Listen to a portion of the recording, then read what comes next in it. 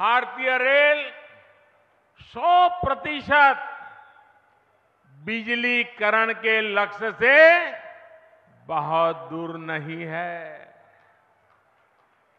आज नमो भारत शुरू हुई है।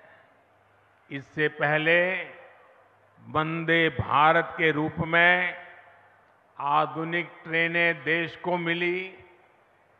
अमृत भारत स्टेशन अभियान के तहत देश के रेलवे स्टेशनों को आधुनिक बनाने का काम भी तेज गति से चल रहा है।